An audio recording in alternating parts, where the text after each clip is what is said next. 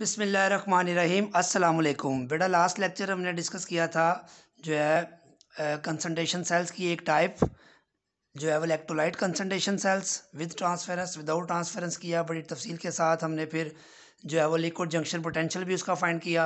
अब हम डिस्कस करेंगे कंसनट्रेशन सेल्स की दूसरी टाइप जिसको हम कहते हैं electrode concentration cells electrolyte concentration cell में क्या देखा था हमने? कि जो इलेक्ट्रोड है, जैसे ये एग्जांपल मैंने आपके सामने लिखी हुई है वहाँ पे जो हाइड्रोजन इलेक्ट्रोड हमने लिया था, उसका प्रेशर दोनों साइड्स पे पी वन था, इधर भी पी वन था। और जो सोल्यूशन से जिनको हमने साल्ट ब्रिज से और मेम्ब्रेन से सेपरेट किया था, वो एक तरफ़ H C L a one activity के साथ था और दूसरी तरफ़ ए टू एक्टिविटी के साथ था, या कंसनट्रेशन के साथ था। यानी कि उसमें कंसनट्रेशन ऑफ़ इलेक्ट्रोलाइट डिफरेंट होती है और इलेक्ट्रोड सेम कंसनट्रेशन का होता है।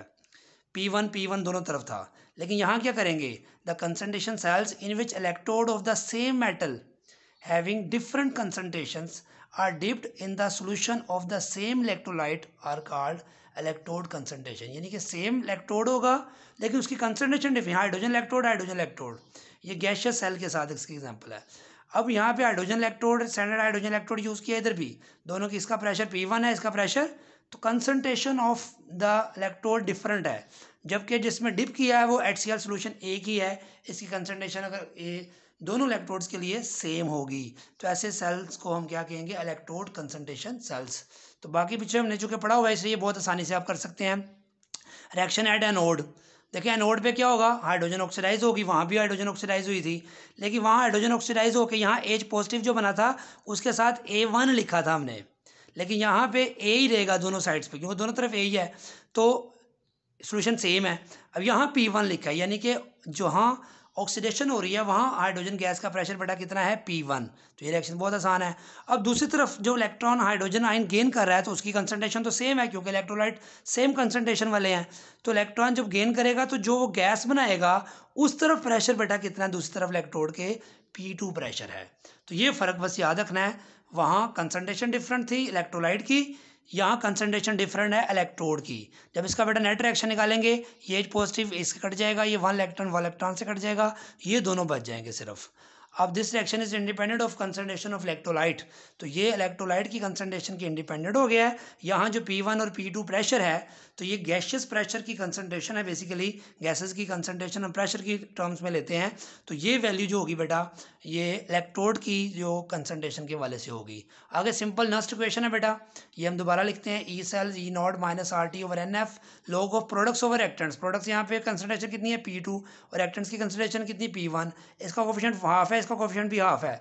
तो कोफिशेंट आपको पता है पावर बन जाती है लॉ में सेक्शन के तहत। तो पावर हमने दोनों की इकट्ठी लिख दी है वन ओवर टू तो ये इस पावर को हम शुरू में लिख सकते हैं, अगले स्टेप में करते हैं। अब ई नॉट सेल हम क्या लेते हैं? ज़ीरो और एन नंबर ऑफ़ इलेक्ट्रॉन कितने ट्रांसफ़र हो रहे हैं? वन तो वन की जगह वन पुट कर देंगे ई नॉट की जगह ज़ीरो पुट कर देंगे। तो देखें ई नॉट ज़ीरो हो गया और एन की जगह वन भी पुट कर दिया।